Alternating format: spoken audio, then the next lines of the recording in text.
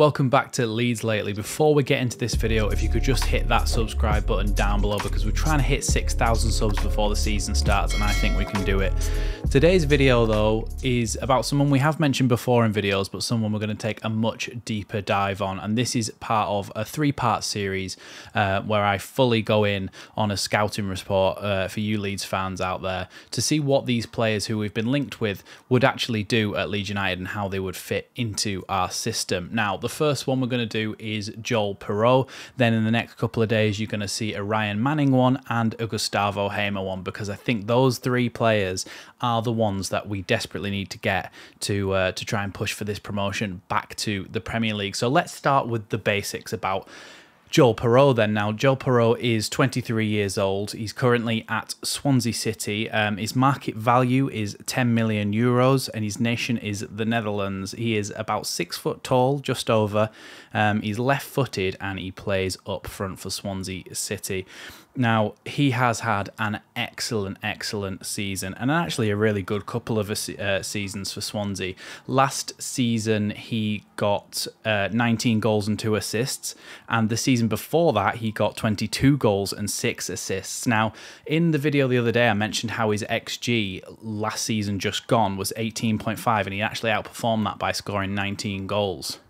When you look at 21 22 season in the Championship for Joel Piroe at Swansea, his XG was 12.5 and he scored 22 goals. He actually outscored his XG by nearly 10 goals, which is absolutely ridiculous. And it's the sort of clinical finishing that we actually really need at Leeds United, is what we've lacked with Bamford over the last couple of years. And we will go into that a little bit as well uh, later on in the video.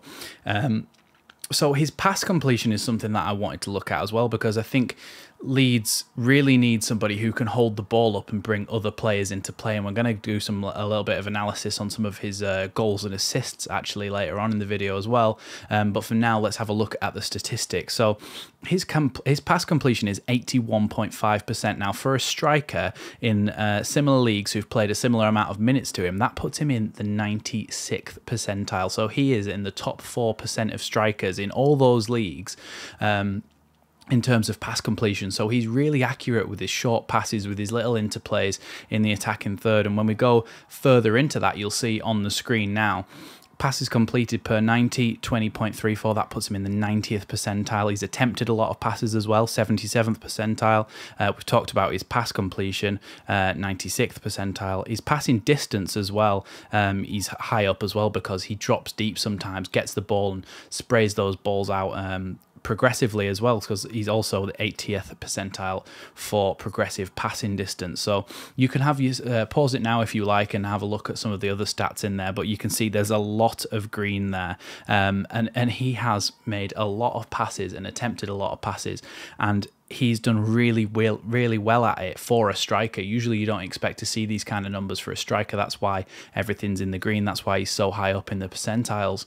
Um, you don't usually get this kind of play from a striker, so it's something rare and something that Leeds could really do with adding to the repertoire. I think it would be an excellent, excellent addition to have somebody up front who can not only bang in goals clinically. Um, but is also able to hold the ball up and, and um, bring other players into play as well. We will go into that in a minute. The other thing, before we go on to the actual analysis of some of his goals, is his shot accuracy. Now, his shot accuracy last season, the last 365 days, is 41.4%.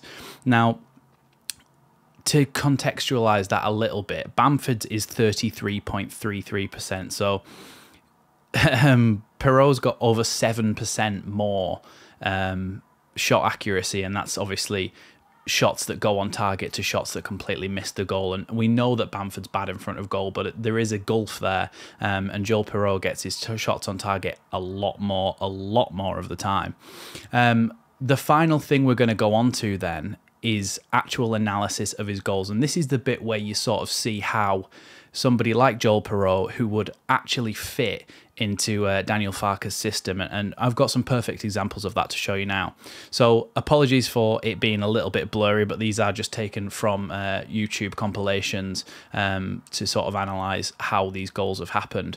Um, so if you look at the first one, um, you've got Joel Piroe there. He's just received the ball from a midfielder with his back to goal, and he is gets his head up quickly. He looks and he sees that this player, as well, the only other Swansea player you can actually see in the shot there, uh, which makes it easy for me. Um, he sees him making a run and he slots the pass right through that gap, just where he needs to.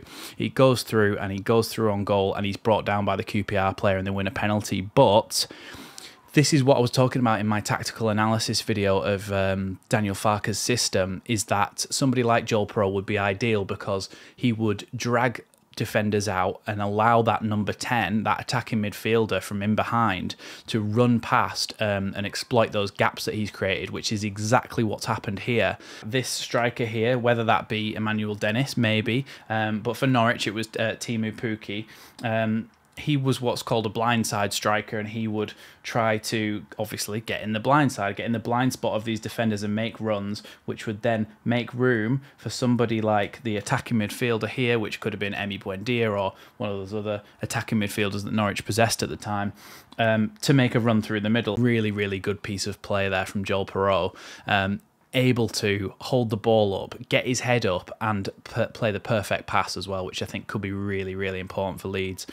The second scenario we're going to do is this one here, where Joel Piroe pulled out to the right wing because that's uh, where the ball came. So he pulled out there and he's going to try and come from out to in.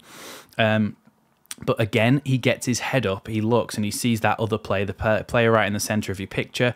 Um, as we go on to the next slide, he is made that run all the way into the box, and Joel Piroe has picked him out, and the player is able to get a shot off on goal. Um, so Joel Piroe's not selfish either. He will peel out wide. He will be happy to receive the ball, wait for a third man runner from midfield to go past him and then play that ball into the box for that player to have a shot. And that is something that Daniel Farke would absolutely love about Joel Piroe um, because that's exactly how he wants to play. This is what Teemu Pukki did um, for Norwich in Daniel Farke's system as well. Teemu Pukki would pull out wide or he would play on the blind side of the defender. He would create space um, for the number 10 to run in behind or one of those wide midfielders as well. Uh, one more situation. Uh, Uh, this time, it's Joel Piroe making the run into the box. Um, the player who's actually got the ball is going to try and lift it over those defenders right through that big gap you can see between the centre back and the left back there.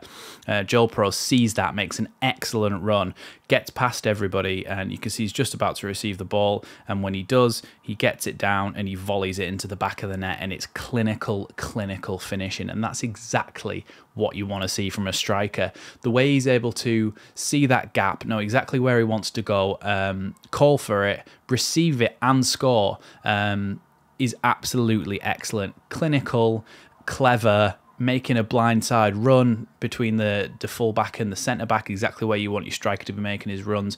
Really good ball into him, bit of quality, and then he finishes it off really, really nicely. So I think those attributes are really what would sell this move to somebody like Daniel Farke. He would look at him and say, okay, well, this is actually going to fit my system really, really well um, because of the way that Joel Piroe plays football and the way that he, um, he utilizes his body, the way he makes his runs as a striker. In the Championship, he's been absolutely brilliant. And I think it would be an excellent move for Leeds. It's a no brainer to put a bid in for him um, and see what we can get. Um, but yeah, that has been the first part of this three part series. That is Joel Piroe analysed. Hope you've enjoyed it. If there's any other questions you have, put them down in the comments below and any other general Leeds chit chat. As always, uh, happy to respond in the comments below. Thanks for watching this one and look out for another one tomorrow.